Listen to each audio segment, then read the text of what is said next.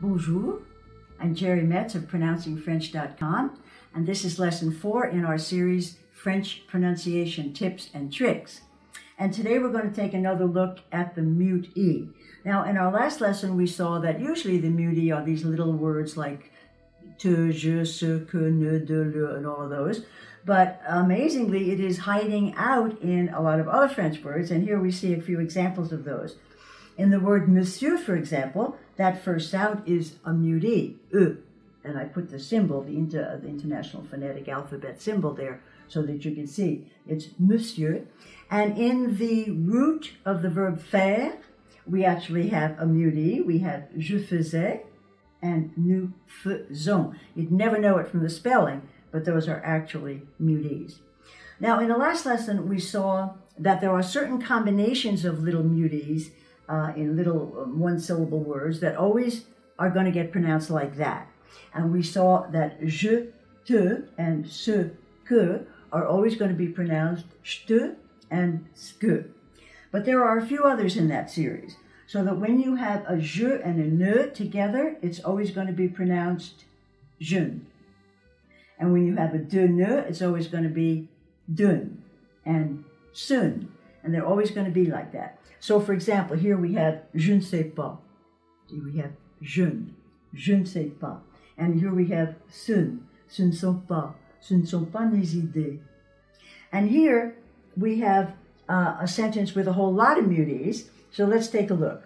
Well, we have je te, and we've already known now that we're supposed to pronounce that one je te.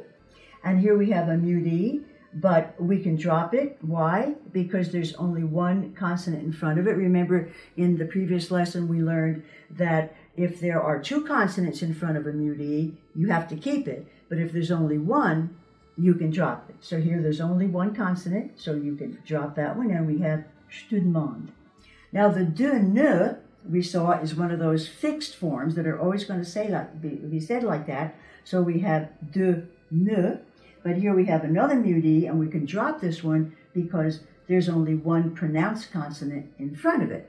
So at the end we come up with Je te demande de ne pas le faire. Now, if you were going to say every one of those mutees, you would have je te demande de ne pas le faire. You would have nine syllables. But now, with dropping them, you have je te demande de ne pas le faire, only five. That could be pretty hard to figure out on your own. It would be a lot better to have a good teacher. Now, even though my video course was originally designed for more advanced students of French, even beginners can profit a lot from it. It's a good idea to start right out from the beginning with good pronunciation. In fact, anyone who wants to sound more authentic in French can benefit from my course. And there is lifetime access, so you can use it now or anytime in the future. I'd like to share a comment that one of my students wrote to me.